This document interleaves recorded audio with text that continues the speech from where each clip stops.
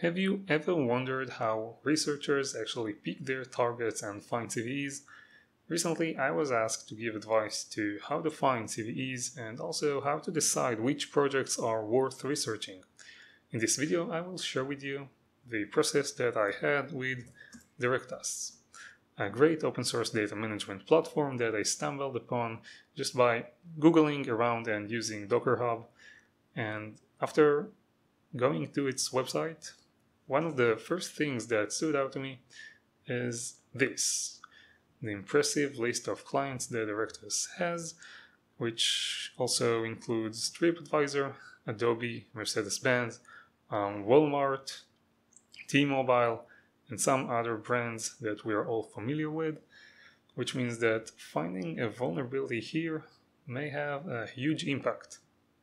Now, the second thing that I did was to go to the resources and read blogs, case studies, communities, and to understand better how this company works.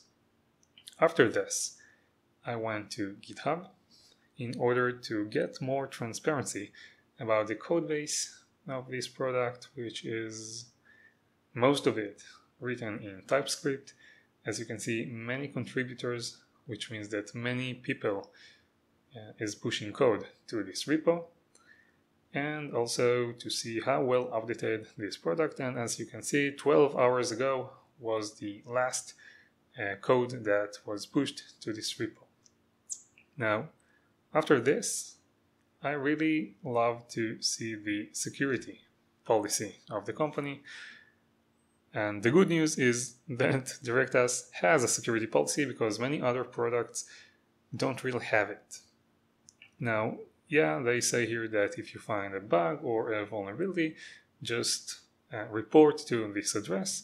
You can see many different vulnerabilities that reported and closed to this product.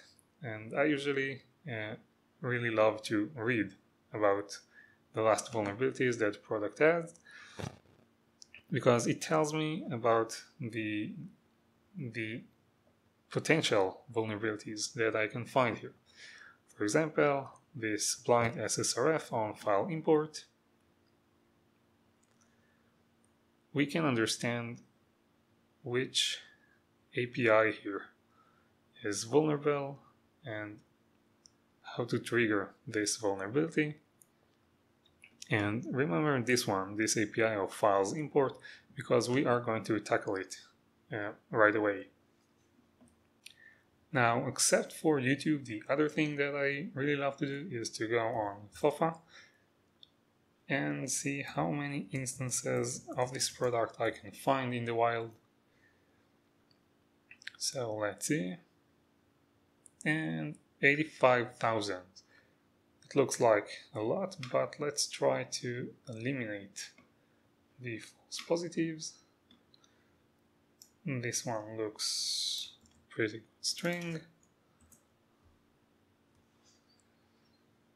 And we still have 68 results which is a lot. And as you can see it's also popular all around the globe almost which looks pretty good and valuable to me. Now the last thing that I do is to go on Directus in YouTube because maybe here I can find tutorials and see many user comments and get another picture. Now in YouTube it has thousands of subscribers, many videos for how to interact with this Directus CMS. Now at this point this product looks a pretty good option to me because we saw that it's a very popular product used by many big companies.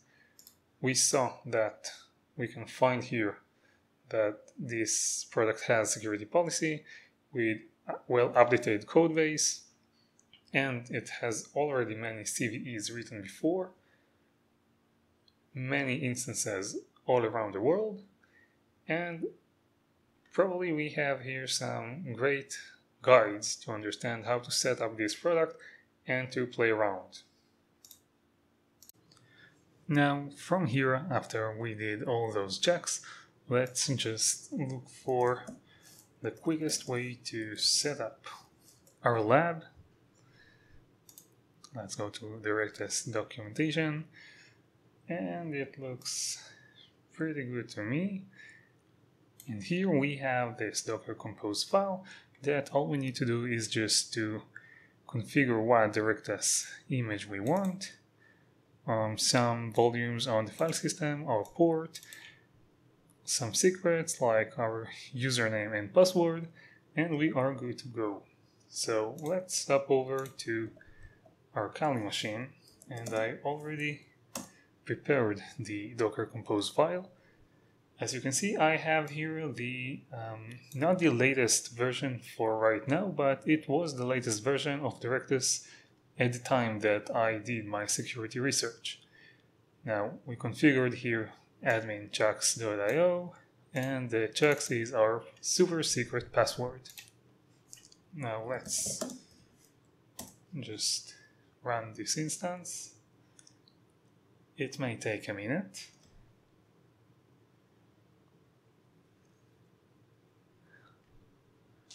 And so far it looks good. one more moment. And we're good to go. Server started at this address now let's go to um, our local host. It was this port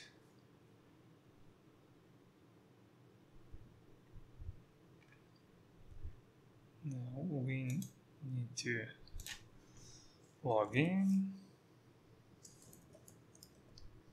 and our password. Let's sign in. So now that we have our lab up and running, I usually just simply love to go through every single feature and functionality that the app offers. And in this case, we are going to test the file library with the import file functionality. And we have two options. The first one is to just simply browse through my local machine and upload a file. The second option that we have here is to use the import file from URL. So here, for example, let's just give um, google.com and we have this file here that the DirectX just grabbed from google.com of course. This is the name on the disk and we will just download it.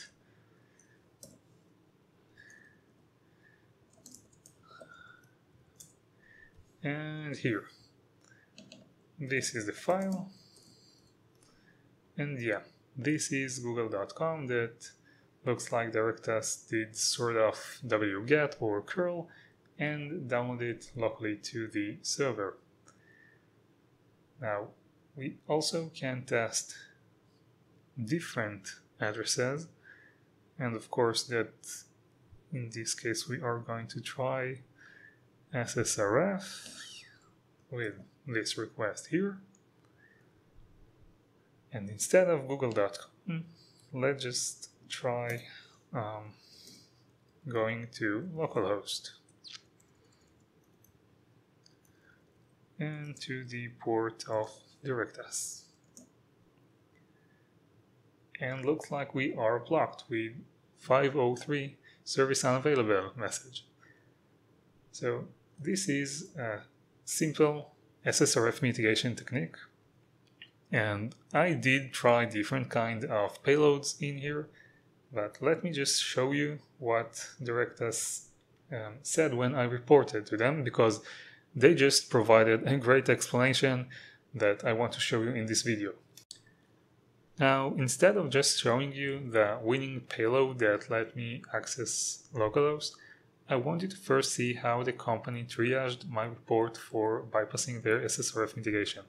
So let's just step over to the security advisory in GitHub of DirectX and look for my report. And it's this one, SSRF loopback IP filter bypass. So here you can see that this, for example, is a winning payload that lets us just simply access to um, the localhost and bypass their mitigation. And this is just great. You can see that one of the developers commented on this one and he's simply asking if all registered loopback devices shouldn't be blocked by this check here. So this check is simply just checking what OS network interfaces the local machine of the Directus contains and if one of them has the address equals to a specific IP, which in this case was um, 127.0.0.1, it will block the request. And here Brainslog commented that the result of this check is exactly this one. It's info.address equals to this address. But as you saw here, we can put different address and it won't be blocked because instead of doing info.address equals to this IP, they need to check info.CIDR and to block the entire range. By this simple check, they will block every SSRF bypass technique that tries to go to localhost. Now, back to our Kali machine, if we will just here change the address to the same one that I was putting in the post in the report itself. And let's send it. Here we get 200 okay. With the correct JSON that the operation was successful. And let's go to this again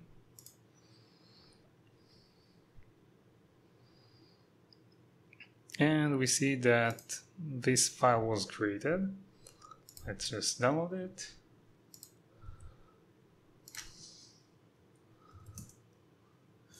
And here. As you can see, this is the SSRF result that we can access loopback and bypassing the mitigation. Now, small bonus that I want to make here is to show you another vulnerability that I found by accessing the users and going to the admin. Of course that I don't have permissions, but here in the comments, I, as you can see, I already played a lot with this, but here if we will try to, let's do a test, and let's try to put um, a script tag and it's automatically deleted after I'm putting the first character after this. Now let's just do a submit here and we have the test. Let's go back to burp and let's find the request here, this one. Let's send it over to the repeater and here instead of test, let's just make an image. Source is X, the classic payload. Let's send. We have again 200 OK. Let's refresh the page.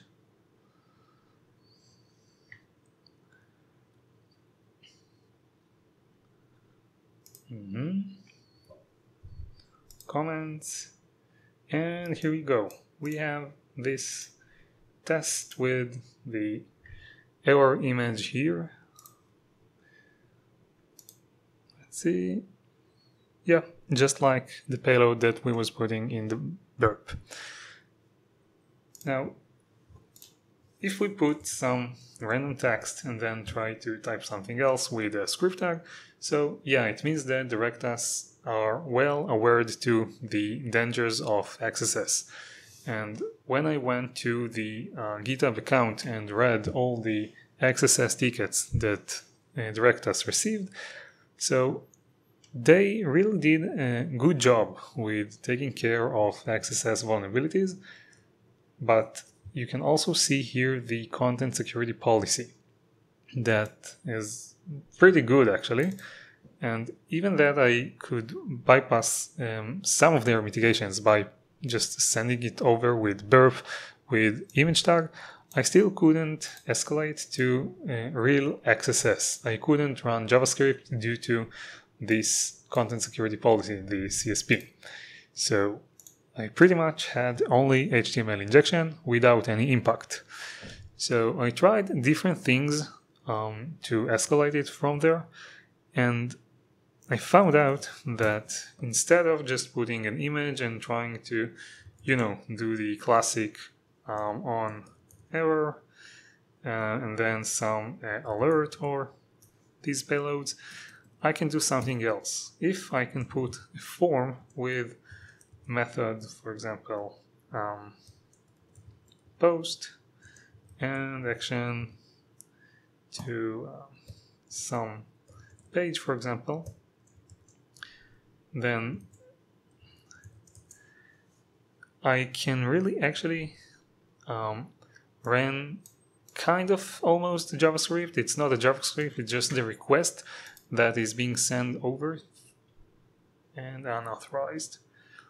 Mm, probably I have a problem with the token. Let's go here. Yeah, the token was changed. Let's change it here again. And okay. Now, if I have the form here, it means that I will be able to send request on behalf of the admin user if he gets into his uh, comments. Now, of course that we can't see the form, but if we will inspect it,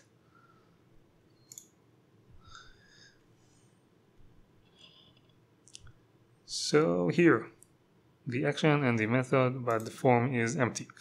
But you can still put some other um, uh, hidden input fields uh, so the user will not see of course the field itself but this way if we go to users um, and the admin wants to create another user invite user create user he has to film this to fill this form so you can put just the um, the email and password of the user that you want to create and put a hidden form in the comments and let the admin trigger this form. And this is my second CVE on Directus.